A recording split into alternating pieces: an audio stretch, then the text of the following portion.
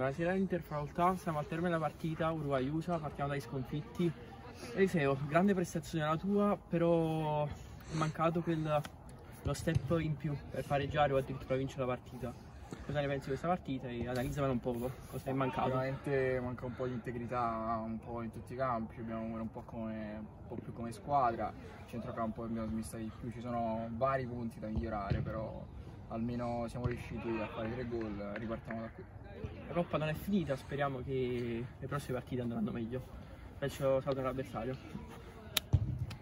Bocca al lupo. Siamo con uh, Sarace, eh, migliore in campo della partita, eh, grande prestazione la tua, grande vittoria di squadra. Potete vincere questa coppa? Non ci poniamo limiti assolutamente, però siamo, rimaniamo, giochiamo bene. Basta, Secondo te cosa si può migliorare ancora? Intensità difensiva, dobbiamo migliorare molto sull'intensità e letture difensive molto migliori. Va bene, ripartiamo. Veniamo da una serie di sconfitte brutte, brutte, brutte. Ripartiamo da qui nel migliore dei modi. Va bene, migliore in campo.